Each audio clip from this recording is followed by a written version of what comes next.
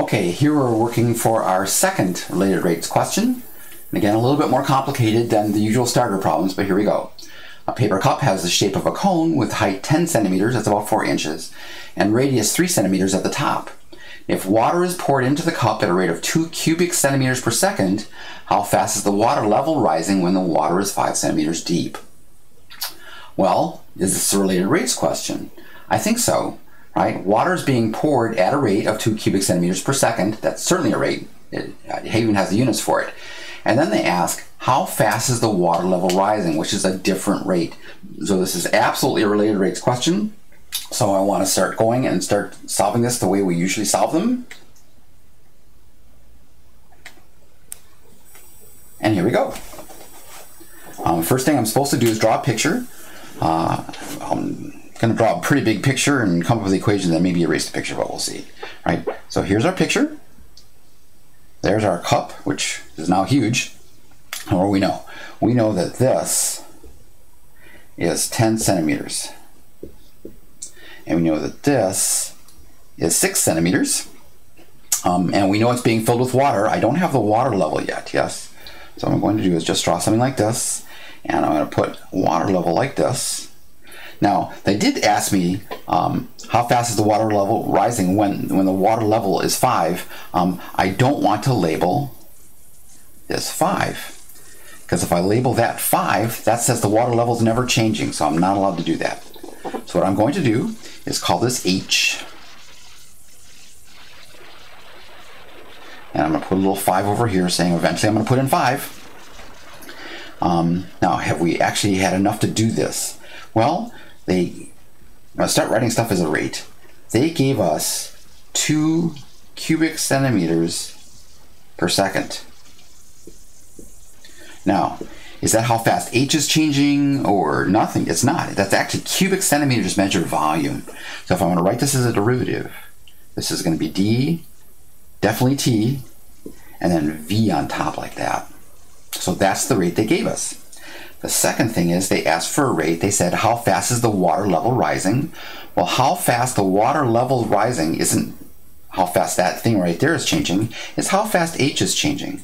So what they really want is dh dt. Like that.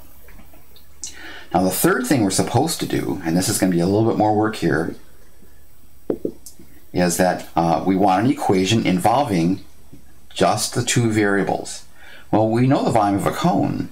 Its volume equals 1 third pi r squared h, which, by the way, if you haven't seen it before, will be done using calculus. Um, the problem is if I take the derivative of both sides with respect to t now, I'm going to have to know dr dt. And um, I don't know anything about r, right? So what we have to do actually is get rid of the r somehow and then take the derivative. So what I'm going to do is to just erase my little things here and see if we can't uh, figure out r. Now, how are we going to figure out r? We are going to use similar triangles, right? So this little triangle here, this little one right here, and the big one right here, are similar. They, they both have a right angle here. They both have the same angle here. That's enough to be similar. Now, how do we use similar triangles when we're solving problems? Um, usually what I like to do is say little over little equals big over big. So for example, this little vertical height divided by this little horizontal height, like this, is equal to the big vertical height, which is 10, divided by the little hor the big horizontal height, which is 6. And remember, we're trying to solve for r. So when I solve for r, r goes over there, 6 tenths over goes over there. What I'm going to get is 3 fifths h, which means as the water is filling this up, r will always just be 3 fifths of h. Now let me put this in over here. I guess I want to write v again. I'm not a vegan, I just said v again. I have 1 third, I have pi, I have 3 fifths h quantity squared times h. I'm going to want to take the derivative of that, and so I'm going to want to simplify that a little bit um, before I actually start going to a derivative. So this is going to be, let's see here, I'm going to get um, 9 on top and 3 on bottom, so a 3 survives, and a pi survives, and a 25 is still there, um, and h cubed, like that, and that is my formula for v. Now I think that's actually where the hard work stops, I think. I want to make sure I leave this here because I'm going to need that. I know that v is equal to this, I'm going to need this. And so what I'm going to do is at the moment just erase my picture at the top if I need it back, I'll just have to recreate it. Uh, so I'm going to go back up the top and I'm going to write down V equals 3 pi over 25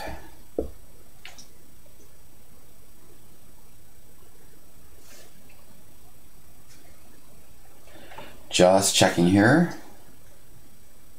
And the water level okay. Yep, I'm good. Uh, let's see here, times h cubed.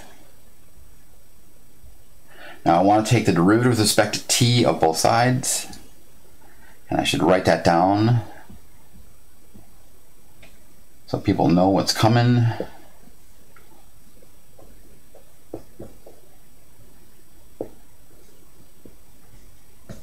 Like that. Here we go. The derivative of the left-hand side, the derivative of v, is just dv dt. Now, if you don't like not using the chain rule, you can say, look, I, what I have is the derivative of blob. Well, the derivative of blob is 1. Well, derivative of v is 1 times the derivative of v, right? So if you want to put a little 1 over there, you can. Um, I'm not going to. Um, the derivative of the right-hand side, well, the 3 pi over 25 is a coefficient, so it goes along for the ride. The 3 comes down, so this is the derivative of 3 pi over 25 times blob cubed. It's going to be, I'm going to get 9 pi over 25 times blob squared times the derivative of the blob. Now the question is, um, do we have enough now be able to answer the question? Well, we're supposed to be solving for dHdt, so what I'm going to do is solve for dHdt, and I hope I haven't erased so much that I can't figure out what's left. So here we go, solving for dHdt. dHdt